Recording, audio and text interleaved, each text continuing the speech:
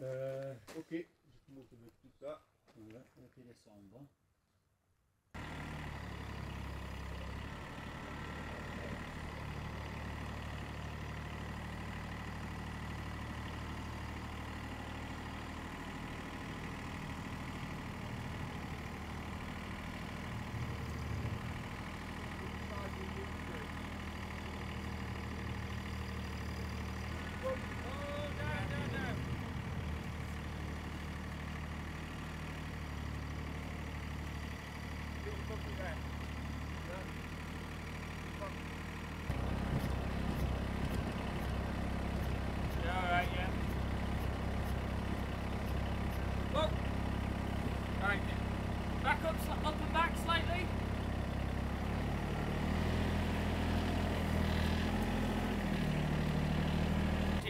Slightly, Yeah. so that the root balls are rolling into the bucket, and that way, as soon as you get them out, you can lower and tip it further, and I'll get them to slide into the bucket.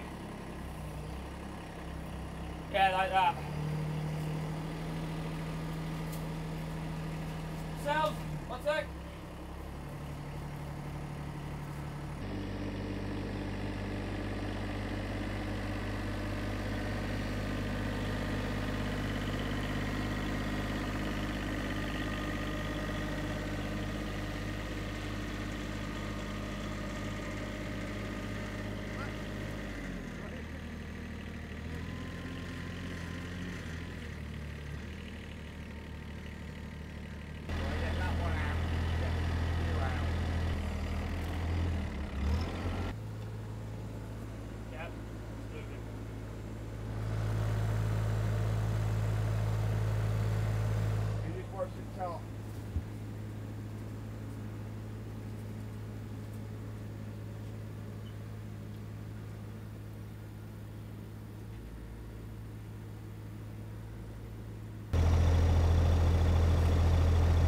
This is the biggest one, isn't it? Just to be able to pull it out without anything, I'll reattach it to get it out out. I'm just wondering, you can tell me. Okay. C'est bien pour l'instant. Voilà. I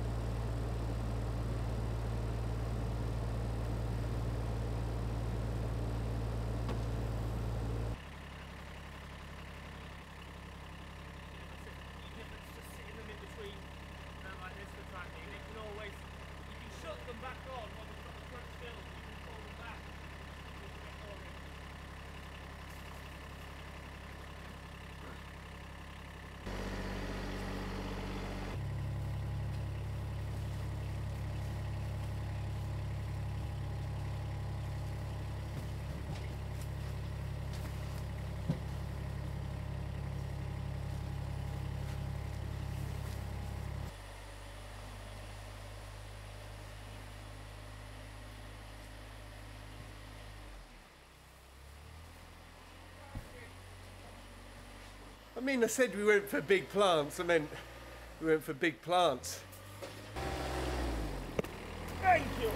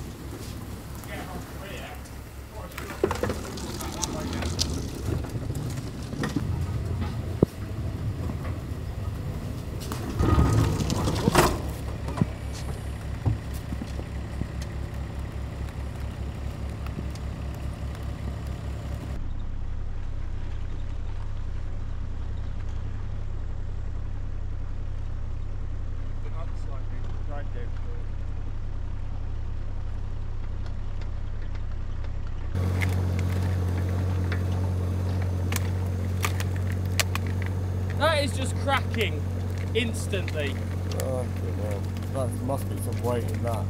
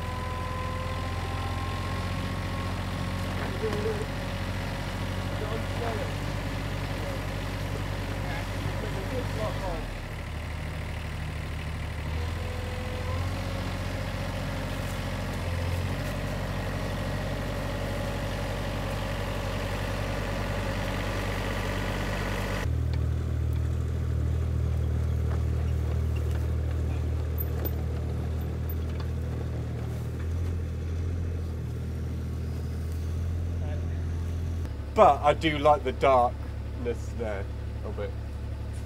Um, I feel like it could go more towards the corner of the stream and almost be when it's spread, the bottom half is on or slightly over it.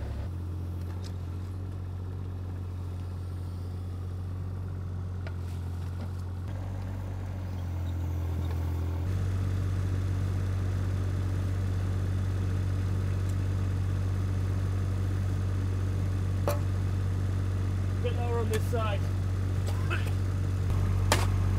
Get your wire cutters out the toolbox. Yep, keep going.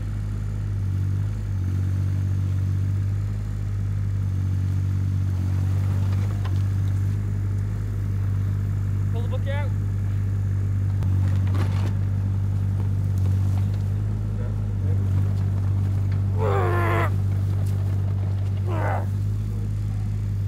Grab that. Easier for us.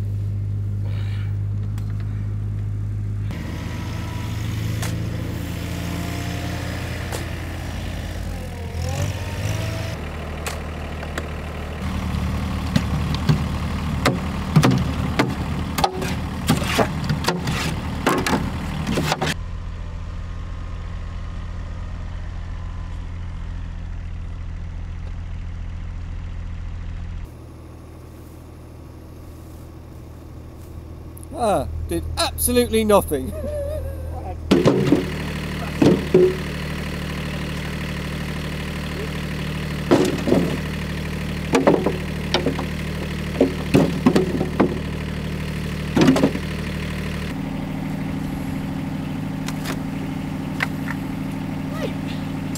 Load out, take, load, break down as it is so that they don't just go everywhere, yeah?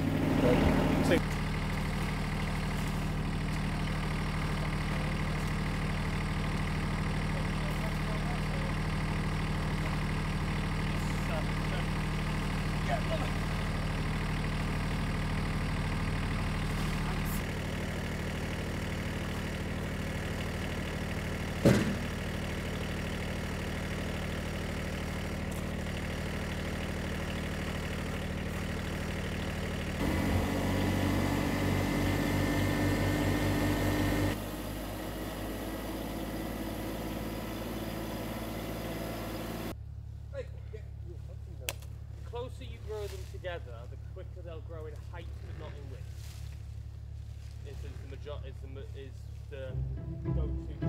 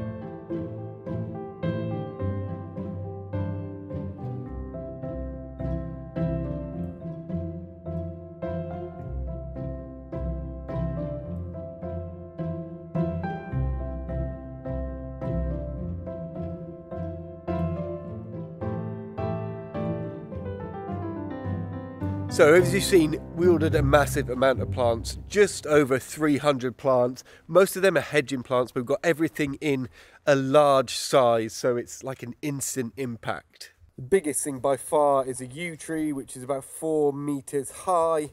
Um, they grow quite big, but very, very slow. So it's important to get kind of the biggest size we could. We started the hedge plants, and that's Portuguese laurel, normal laurel, and yew mixed all along kind of clumps of each but it'll be mainly yew which is this really dark dense slow growing evergreen hedge. Yew's quite important specifically here because we spent all that work uncovering the yew tree at the back which was part of the original landscaping. So it ties in really nicely. And all the rest of this stuff are all really natural woodland plants hazel purple hazels dogwoods rhododendrons, hollies. We've not gone for anything too obscure. We've gone for things that we know definitely grow in a woodland setting and are reliable and are native. So they all should really thrive. Me and Cameron started planting the hedge, but there's a long way to go. Nick's now landscaping all around the ponds and the river to make sure the levels are right and then we can start adding plants and seeing how things look. Also got three of these big cherry trees which can give amazing blossom but more so really interesting peeled red bark. And loads of silver birch which we've already got all around the chateau so that ties that in nicely. Obviously it's going to take a long time to get all these in the ground but I think we're going to have real fun doing it. So on that note I will see you tomorrow.